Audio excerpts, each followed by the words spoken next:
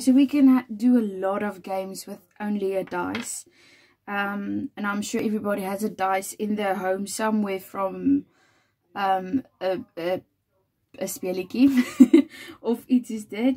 Um, so wat ons nou gaan doen is, ons gaan nou maak 1 meer, maak 1 minder. 1 more, 1 less. So ek gooi die dobbelsteen.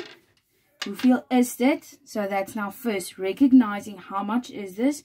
Okay, wys my soveel vingers four fingers. Make one more. Een meer. Ek moet nou een bysit. Four fingers make one less. How much is there? Three. So dat hulle dit net eers konkreet met hulle vingertjies staan. Om die, dit nog beter is, um, ek maar weer blokkies Staan nou hier nou by my. Om te gooi, how much is that? One, two, three, four.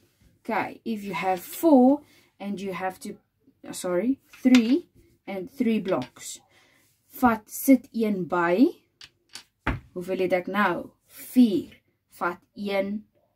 Okay, weer dan, moet jy net onthou om weer, want dit is wat daar is. Vat een weg. Hoeveel bly oor twee? Want nou gaan ons begin, as ons nou terug gaan school toe, begin ons met die volgende oefening. So 1 2 3 4 5. Ehm um,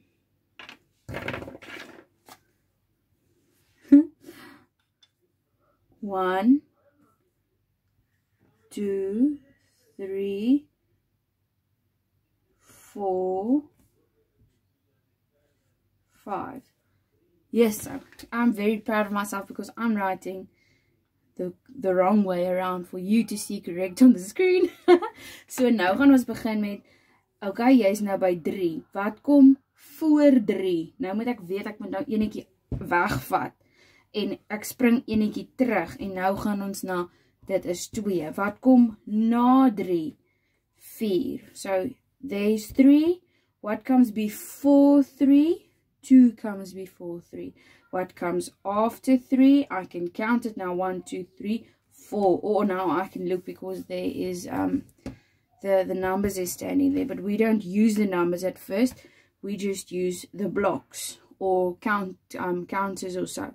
So nou vra ek wat kom voor en wat kom na hierdie getalle. So om nou eers met hierdie speletjie aan te gaan met die dobbelsteen 1. Goed, daar's 1. Um as ek moet 1 bysit, hoeveel het ek dan? Dan het ek 2. Goed, 1 en ek vat 1 weg, hoeveel het ek dan? Dan het ek niks. I always tell them not, zero is nothing. Nul is niks. Ek weet daar's 'n fliek wat sê nul is nie niks nie, maar ons leer vir ons maatjies nul is niks. So dis ook so 'n lekker wiskunde speletjie en dit is wat so lekker is van hierdie werkies is dit is regtig speletjies wat jy kan speel um, met die kinders en hulle kom nie rarig eers agter dat hulle besig om te leer nie.